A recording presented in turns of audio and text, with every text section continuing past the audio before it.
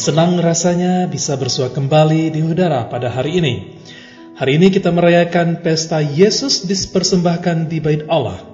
Bacaan dan renungan diambil dari Injil Lukas bab 2 ayat 22 sampai dengan 40. Marilah kita simak dan renungkan bersama.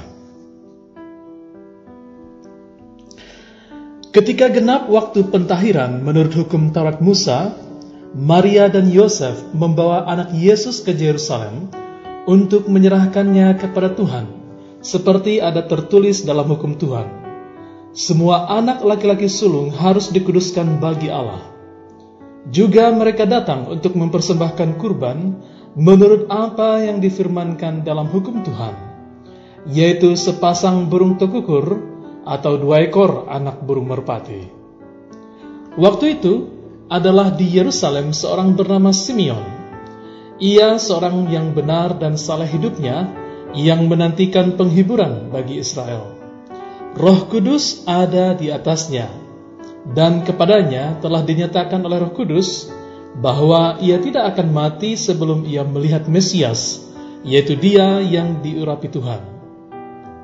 Atas dorongan Roh Kudus, Simeon datang ke Bait Allah Ketika anak Yesus dibawa masuk oleh orang tuanya untuk melakukan kepadanya apa yang ditentukan hukum Taurat, Simeon menyambut anak itu dan menatangnya sambil memuji Allah katanya, Sekarang Tuhan, biarkanlah hambamu ini pergi dalam damai sejahtera sesuai dengan firmanmu.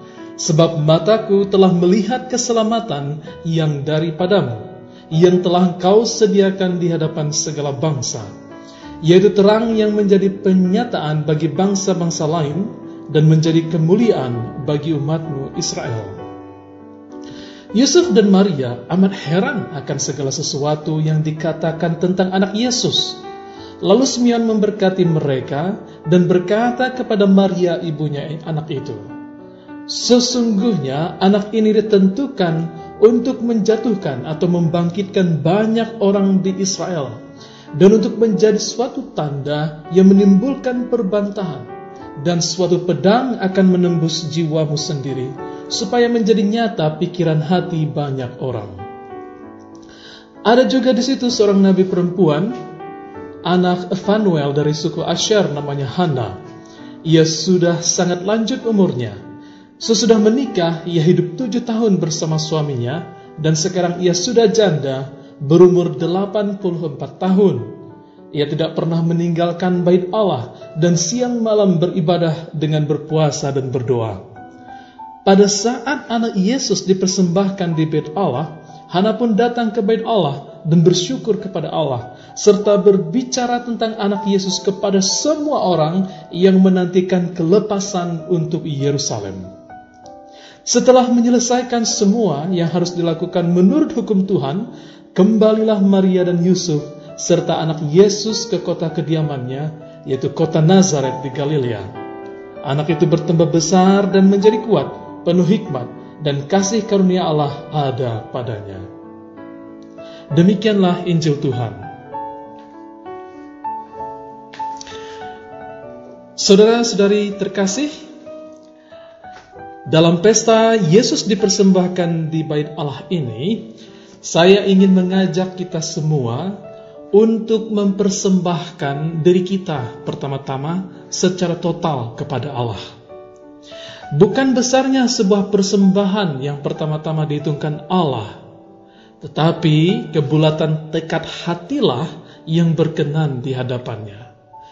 Ya, persembahan yang besar memang sangat baik akan tetapi jika persembahan itu diperoleh dari cara yang tidak pantas, misalnya hasil pemerasan dan ketidakadilan, ataupun hanya diberi dengan setengah hati, maka persembahan tersebut akan menjadi hampa ataupun tidak berbuah manis di hadapan Allah. Mari kita belajar dari Maria dan Yusuf. Maria dan Yusuf adalah keluarga yang taat pada hukum Tuhan. Menurut ritual pentahiran bagi orang-orang Yahudi, sebagaimana bisa kita baca dalam kitab Imamat bab 12 ayat 4, di sana dikatakan bahwa seorang perempuan yang baru melahirkan itu dianggap najis dan, tidak dapat masuk ke tempat kudus. Maka dengan mempersembahkan sepasang burung tekukur atau dua ekor anak merpati di hari yang ke-40, seorang perempuan dinyatakan sudah bersih. Nah, perhatikan kurban yang dibeli oleh Maria dan Yusuf. Sepasang burung tekukur atau dua ekor anak merpati, ini tanpa domba. Ini merupakan kurban biasa dalam sistem kurban di bait Allah atau kurban yang paling murah bagi keluarga yang tidak mampu atau miskin. Bagi keluarga yang kaya, mereka tentu bisa membeli juga seekor domba sebagai kurban persembahan. Namun, sekali lagi, Allah tidak memperhatikan besar kecilnya kurban yang dibeli. Tetapi Allah kita memperhatikan hati, kebulatan tekad dari pemberi persembahan tersebut. Maria telah mempersembahkan hati dan dirinya seluruhnya bagi Allah. Dan dia ke Yerusalem adalah sekedar untuk memenuhi hukum pemurnian bagi dirinya. Inilah tujuan Maria dan Yosef beserta Yesus ke Yerusalem. Tetapi ada tujuan lain. Maria dan Yusuf pergi ke Yerusalem. Yaitu mereka mempersembahkan Yesus anak laki-laki mereka bagi Allah. Ini pun menjadi bukti bahwa mereka patuh pada hukum Musa. Namun kiranya menjadi jelas bahwa Yesus yang mereka bawa ke bait Allah itu ternyata merupakan persembahan yang paling harum mewangi berasal dari surga. Dengan kata lain, Maria dan Yusuf sesungguhnya memberikan persembahan yang terbaik, sumber dari segala sumber persembahan, Yesus putra Allah yang hidup. Nah, ini tidak mengherankan apabila Simeon seorang yang dipenuhi dengan Roh Kudus, orang yang saleh, memberikan pernyataan yang mengejutkan. Dalam bacaan Injil hari ini, Simeon menyiratkan sukacita besar sekaligus seruan penantian penuh akan harapan dari nabi-nabi perjanjian lama. Sebagaimana kita ketahui bersama, para nabi di perjanjian lama menubuatkan kedatangan Mesias. Dan beberapa di antara mereka sebenarnya telah berusaha menantikannya. Namun ternyata belum sempat bertemu ketika ajal menjemput mereka. Maka kegembiraan Simeon kiranya sangat beralasan yakni Allah telah memperkenankannya untuk melihat dan menggendong atau menatang kanak-kanak Yesus sang Mesias terjanji itu. Hal itu bagi Simeon adalah anugerah besar.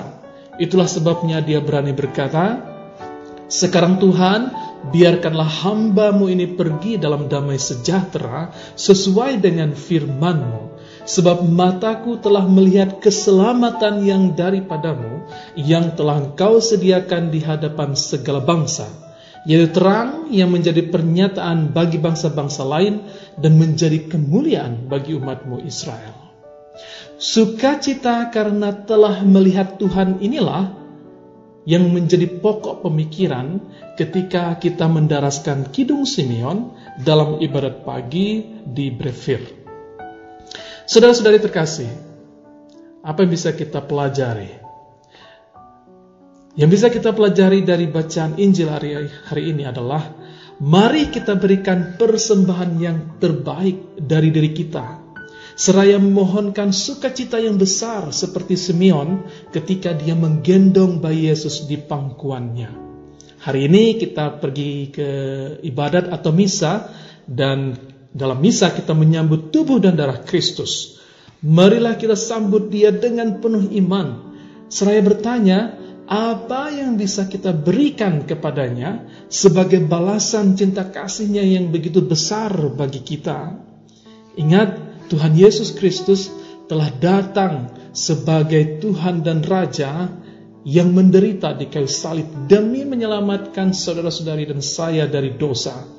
Dan dia bertanya, apa yang bisa kita berikan kembali kepada dia? Maka pada hari ini kita ingin membawa diri kita sebagai persembahan yang harum mewangi di hadapan Tuhan.